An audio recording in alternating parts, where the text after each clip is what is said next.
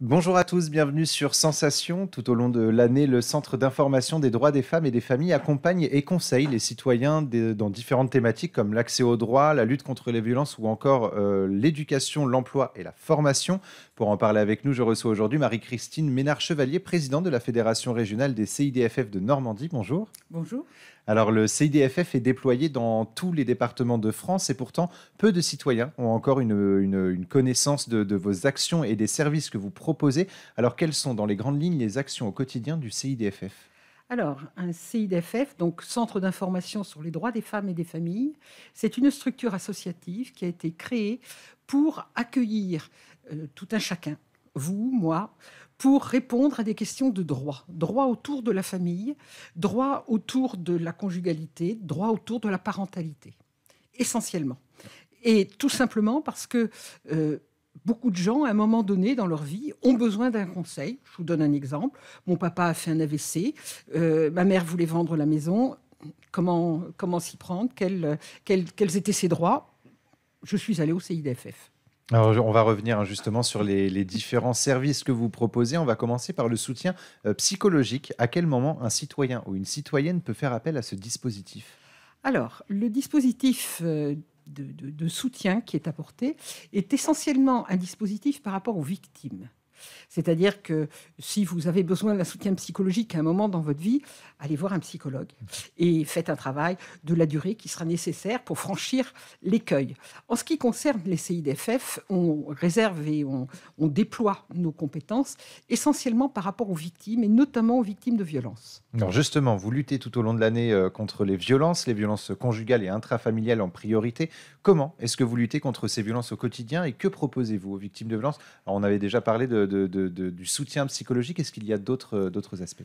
Alors, ben, il, y a, y, a, beaucoup de choses. D'une part, euh, faire connaître euh, les traumatismes et les modes de fonctionnement autour de la violence à l'intérieur des couples, tout simplement parce que beaucoup de gens autour de nous sont témoins et ne savent pas qu'ils peuvent agir, ne savent pas que ces, ces comportements-là ne sont pas autorisés dans notre société.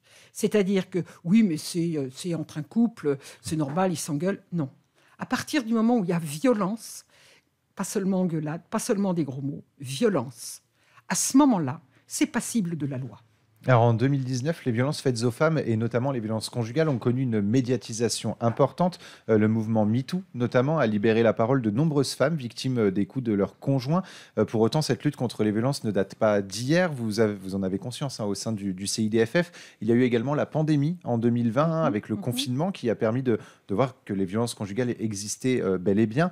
Est-ce que malgré tout, la médiatisation vous a permis de venir en aide à, à plus de femmes depuis 2019 Absolument. Ce qui, les, CIDFF, c'est un réseau qui couvre toute la France, qu'elle soit métropolitaine ou outre-mer.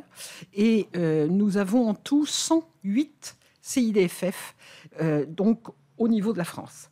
108 CIDFF, 5 pour la Normandie. Ces CIDFF ont été créés pour l'accès aux droits, pour permettre donc à tout à chacun de se de s'informer mhm. et de savoir comment réagir, de savoir qu'est-ce qui est possible, comment agir autour.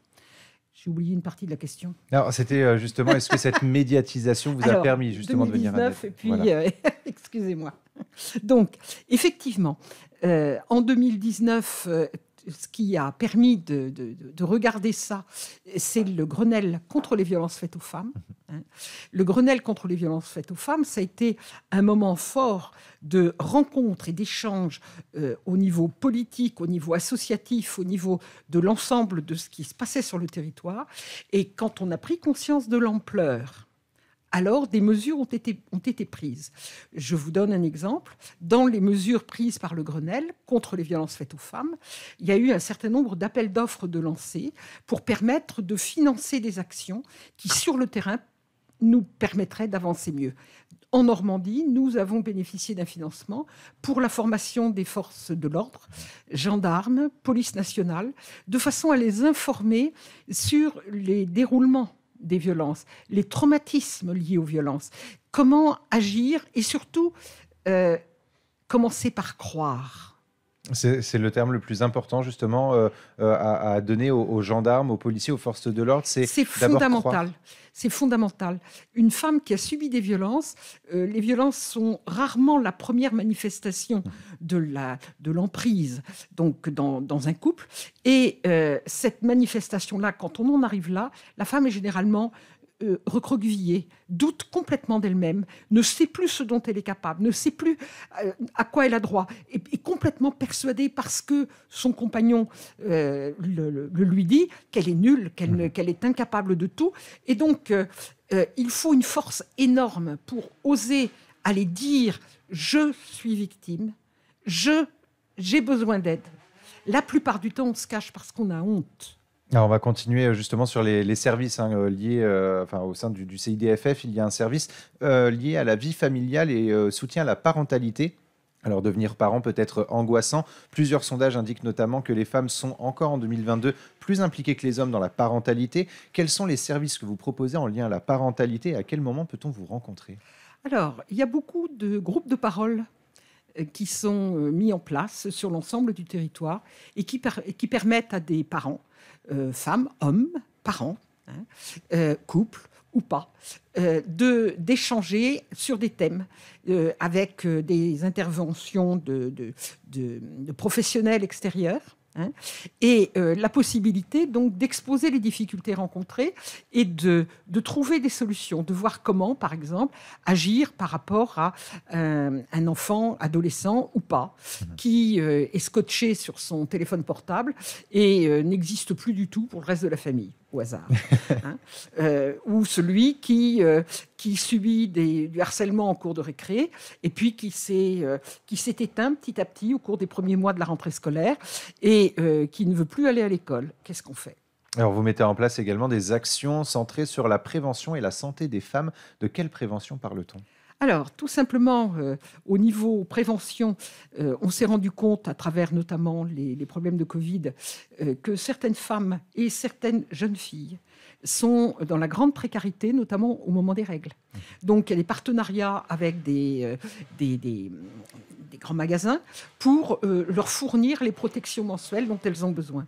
C'est leur permettre d'avoir accès à des soins en les aidant à faire la démarche.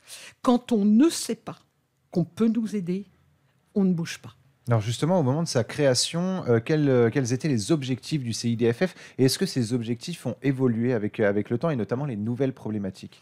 Alors, la première, le premier axe de la création, c'était les violences, c'est-à-dire violences faites aux femmes et l'accès aux droits pour permettre aux femmes qui sont victimes de violences de savoir à quoi elles ont droit et comment elles peuvent être aidées pour sortir de la situation qui les, euh, qui les marginalise et qui les écrase.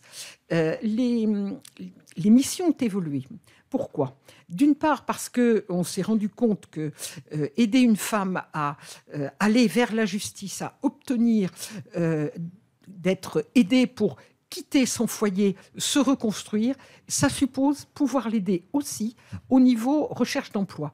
Dans la stratégie de, de, de l'agresseur, il y a non seulement au départ le fait de l'isoler, le fait de euh, l'empêcher de voir sa famille, ses amis, euh, de, faire qu'elle soit, qu'elle ne dépende que de lui, et bien évidemment le priver de tout revenu et la priver pardon de tout revenu et de toute activité qui lui permettrait de se valoriser à l'extérieur. Et ces femmes, il faut arriver à les aider à se reconstruire, à leur redonner euh, confiance en elles et dans le fait qu'elles peuvent exercer un métier et qu'elles peuvent y réussir. Alors, euh, pour vous retrouver, où, on peut vous retrouver justement Quels sont, Où sont situés pardon, les CIDFF de l'Eure et de, Seine-Maritime, par exemple? Alors, euh, le CIDFF de l'Eure, il est, il est à Évreux il est 12 rue de l'Espéranto, donc à la Madeleine. Euh, mais il y a beaucoup d'autres points dans le département de l'Eure qui permettent de rencontrer un conseiller ou une conseillère, voire même des points, on est en train d'en créer, qui permettent en visio à travers les maisons France Service, donc de, de, de, de rencontrer, d'être conseillé. Et pour euh, plus d'informations, on peut se rendre hein, de toute façon sur le site euh, heure.cidff.info ou sur le site seine-maritime.cidff.info, notamment pour, euh, pour les adresses. Merci beaucoup Marie-Christine Ménard-Chevalier d'avoir été avec nous sur Sensation. Et pour revoir ou réécouter cette émission, rendez-vous sur notre site et notre application Radio Sensation.